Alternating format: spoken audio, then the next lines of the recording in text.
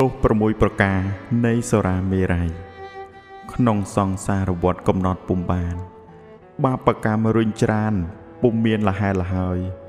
នៅរុដេរឆានធ្លាប់បានកើតហើយ តែពុំរៀងឡើយគួរឲ្យអនិច្ចា ជនណាសែបសោយសូរាមេរ័យមានទោសមានភ័យ6ប្រការ ទី1វិនិច្ឆ័យទ្របក្នុងគ្រួសារទី2ហឺហាបង្ការចំនួន ទី3នាំកើតរោគាក្នុងខ្លួន ប្រការទី4នាំឲ្យខូចឈ្មោះ ទី5បង្ហាញគេខ្មាស់ទាំងរស់6គឺគ្រោះបាត់បង់បញ្ញា